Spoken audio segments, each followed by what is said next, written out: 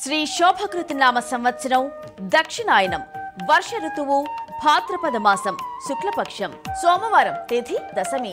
ఉదయం ఏడు గంటల యాభై ఏడు నిమిషాల వరకు తదుపరి ఏకాదశి తెల్లవారుజామున ఐదు గంటల రెండు నిమిషాల వరకు నక్షత్రం ఉత్తరాషాఢ ఉదయం పదకొండు గంటల యాభై నాలుగు నిమిషాల వరకు. వర్షం మధ్యాహ్నం మూడు గంటల ముప్పై రెండు నిమిషాల నుండి సాయంత్రం ఐదు గంటల వరకు.